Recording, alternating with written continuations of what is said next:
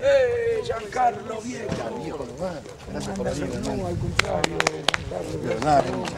Es cierto, y hoy estoy aquí en la casa de Juan Carlos Marino eh, y sé que estuvo mi padre aquí en esta casa y estuvo casualmente antes de ser presidente de la República. Tal vez se repita la historia con otro Alfonsín que estuvo en Riglos, en la casa de Juan Carlos Marino, y por ahí termina también en la Casa Rosada. Veremos, la última palabra la tiene el electorado, pero confiamos en que en el marco del frente podemos ganar las próximas elecciones.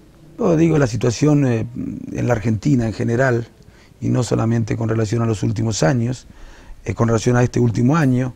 Eh, yo digo siempre, y a veces me critican por eso, que ningún gobierno hace todo mal ni todo bien, parece lo más sensato. Todos hacen algunas cosas bien y algunas cosas mal. Espero que las que se hacen mal se hagan sin saber, ¿no? porque eso sí que sería grave.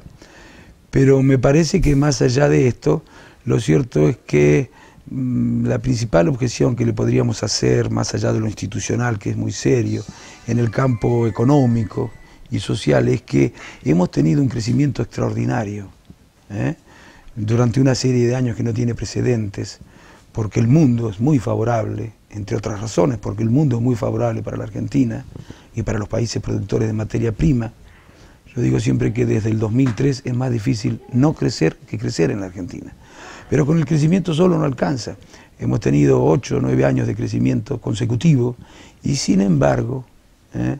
la educación pública no mejora en la Argentina, la salud pública no mejora en la Argentina, la seguridad no mejora en la Argentina, el trabajo negro sigue registrando los mismos niveles que existían hace 5, 6, 7 años.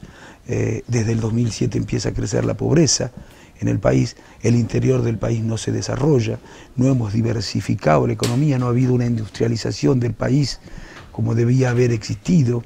En fin, todas estas cosas son las que queremos hacer hacia adelante, porque el mundo va a continuar siendo muy favorable para la Argentina pero tenemos que transformar ese crecimiento en desarrollo, ¿eh? en bienestar general.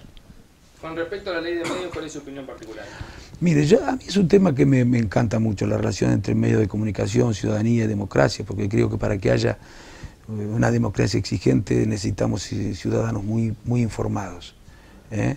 Y bueno, es una deuda que tiene la democracia. Una buena información de los ciudadanos nos garantiza una democracia más exigente.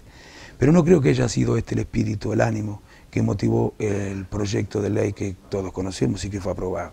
En realidad, eh, con la excusa de democratizar los medios de comunicación, sancionaron una ley que genera condiciones, por lo menos genera condiciones para que el Ejecutivo, este o lo que vengan, puedan influir negativamente sobre los medios de comunicación. Y además les voy a decir una cosa, muchachos.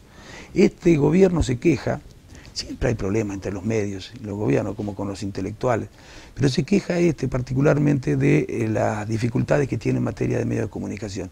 Ningún gobierno en la Argentina, ninguno, ninguno, ¿eh? desde el 83 a la fecha tuvo tantos medios de comunicación, y no lo critico, oficialistas, ¿eh?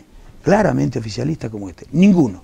En televisión, entre público y privado, ya saben ustedes, no voy a mencionar, ninguno. En radio, la cantidad de radios que son oficialistas, la cantidad de programas que son oficialistas, la cantidad de revistas que coinciden con el gobierno, la cantidad de medios, de gráficos diarios, algunos gratis, que coinciden con el gobierno, para no hablar sino de la capital federal.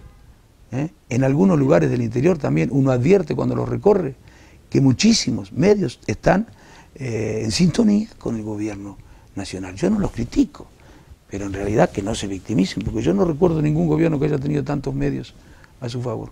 Ricardo, en la provincia de La Pampa y desde su punto de vista, ¿quién es el candidato del radicalismo? Bueno, ya me hicieron el otro día un lío y Juan, Carlos me ha pedido que en lugar de, de, ayudarlo, lo compliqué. Él ha dicho que decida eh, la asamblea y me parece a mí muy bien. Yo tengo una, una relación personal y de amistad eh, con, con, con, Juan Carlos y incluso me preguntaban si era el referente eh, del espacio. Juan Carlos un referente del radicalismo nacional con un prestigio más allá de la provincia. Y fue uno de los actores, mire, importantes en la 125, porque claro, se conoce el nombre de quien se conoce la, participación que tuvo quien desempató, ¿eh? es lógico, porque era la situación esa más dramática, el desempate, pero parecía imposible empatar, porque para desempatar había que empatar, y parecía imposible que empatáramos, porque tenían mayoría absoluta en el Senado. Y a raíz del trabajo que hicieron eh, nuestros senadores, y entre otros con una participación muy importante Juan Carlos, logramos ese empate. ¿eh? Y gracias a Dios con eso no solamente resolvimos un problema que tenía que ver con la economía, resolvimos problemas que tenían que ver con eh, la paz social. Estaba muy preocupada la sociedad. Todo el mundo tenía un hermano, un tío, un primo en las rutas, la novia, el novio, y no sabíamos qué podía haber, o no sabemos qué podía haber ocurrido si el Senado, en lugar de resolver cómo resolvió, hubiera aprobado la 125. Yo no sé qué hubiera pasado.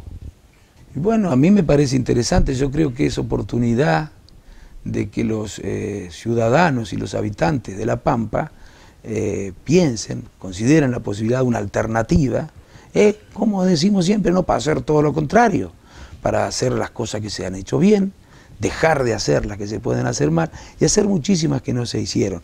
Al principio hablé de que en la provincia, en el país en realidad ha pasado esto, no ha habido un pensamiento estratégico, no ha habido una planificación eh, que considere el pequeño, el mediano y el largo plazo, no ha habido un desarrollo industrial de la provincia. Esto es lo que me parece el radicalismo viene proponiendo desde hace algún tiempo y me que la sociedad debería tratar de acompañar a los candidatos del partido, del frente que, en el que trabajemos desde el partido, para bueno, seguir trabajando por la Pampa.